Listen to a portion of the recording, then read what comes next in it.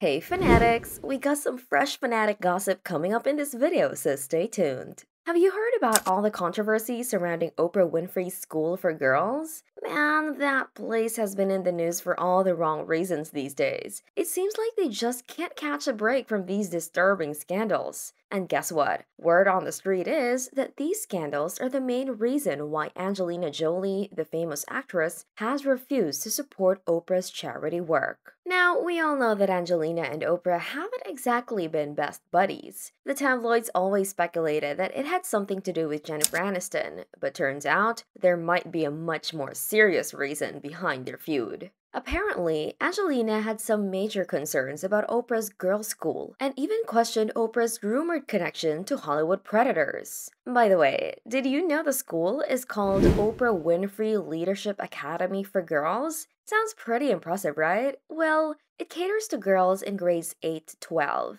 But here's where things get strange. The student count is 322, but the faculty members, you won't believe it, but it's a whopping 666. What's really going on at Oprah's girls' school? We can't help but wonder if Angelina Jolie knows something we don't. Maybe she's onto Oprah's dark side, the truth that's hidden beneath the surface. Who knows? But one thing's for sure this whole situation is just too bizarre to ignore.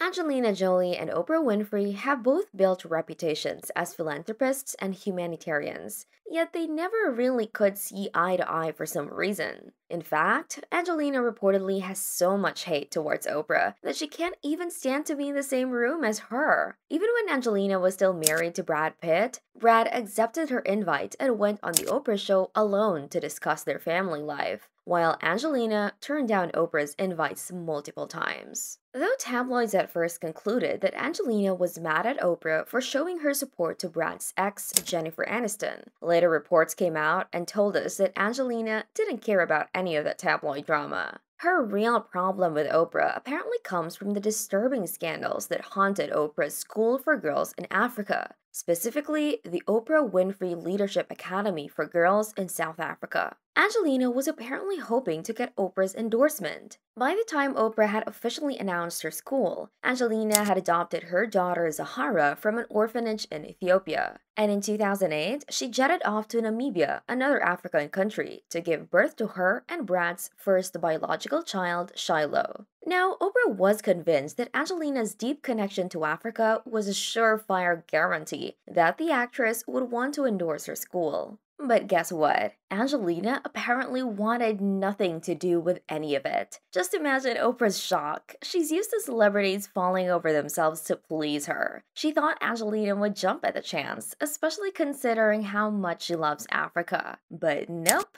it wasn't happening.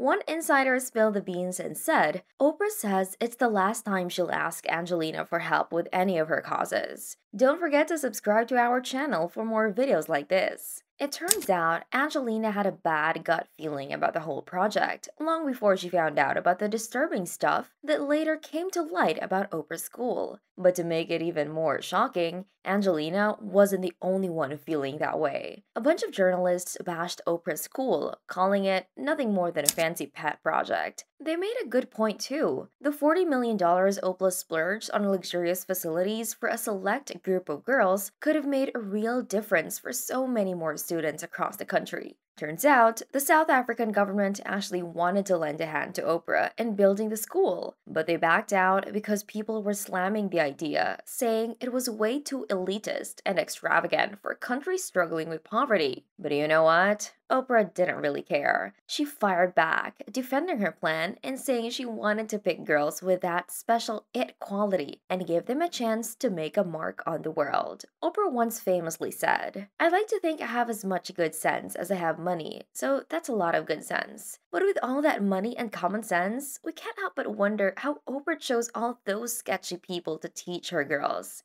Yep, there's some really shady things going on at this school. A few months after the school was opened, a female member of staff was arrested after multiple students reported her for inappropriate behavior. Apparently, she was arrested for several charges, including assault, indecent assault, as well as soliciting girls under the age to commit indecent assault. This happened all the way back in 2010, and the matron was later acquitted of these charges. Oprah immediately flew to South Africa to meet with school officials and parents. However, she later seemingly downplayed the incident during a press conference and tried to clear her name as much as possible by claiming that the girls weren't actually subjected to assault. They didn't use the word, but they implied that there were definitely some inappropriate things going on. Oprah also revealed that after she talked to the girls, more victims came forward who didn't speak up before because they were previously scared of other staff members. As a result of the conversation with the girls, by the next day, five other brave girls had come forward, but all the girls were scared of facing repercussions from the remaining dorm matrons. So they immediately removed all remaining dorm matrons and put teachers in rotation in the dorms. But see, according to Newsweek, Oprah really gave this school her all. She personally chose the china, uniforms, sheets, and beds for the girls. She even tested the beds herself for comfort. So it doesn't add up that we're now being told that Oprah put in more effort in picking sheets and beds for the schools than selecting school staff. Also, she spent $40 million on the school, and yet there were no security cameras anywhere. But the controversies didn't end there. Multiple parents later came forward, claiming that they were only allowed to visit their children at school once a month. One mother said it was a complete nightmare, and another complained that they'd only been given two hours to see their daughters, and it reminded her of prison. And according to another report, the assault allegations only surfaced after one girl literally ran away from the school and told her parents she couldn't handle it anymore. However, it gets worse. In February 2011, a dead baby was discovered in one of the students' backpacks. After that, a spokesman for Oprah told ABC News that Oprah would not be commenting on the case. But what made all these allegations even more disturbing is that in 2010, Oprah traveled to Brazil to meet self proclaimed medium and convicted offender John of God, one of the most famous spiritual healers in the world. He rarely ever talks to anyone on camera, but he gave Oprah an interview. So here's the deal John ran the spiritual center in Brazil, where he did these healing ceremonies for desperate people. But that was just a front, and the man was up to something way worse than that. The guy faced over 600 accusations of sexual assault and got slapped with a whopping 60 year prison sentence. But let's talk about Oprah for a second here and what this tells us about her. After the truth came out, all she did was delete that interview with John from her website and put out a short statement about hoping the victims get justice. Somehow, the media quickly swept all these stories under the rug, and now barely anyone talks about Oprah's dodgy school or her connections to these creepy scam artists. But hey,